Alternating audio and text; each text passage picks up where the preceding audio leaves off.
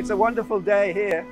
We have 350 new Olim coming into the airport. I remember coming into this door behind me in 2003 when I made Aliyah.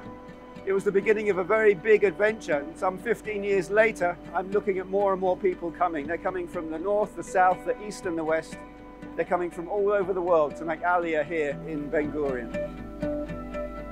The year 2019, we see again a growth of Aliyah from the nation. So we expect hundreds of Olim coming from France and Latin America today. And we praise God because He's calling His people home biblical prophecy is being fulfilled right before our very eyes.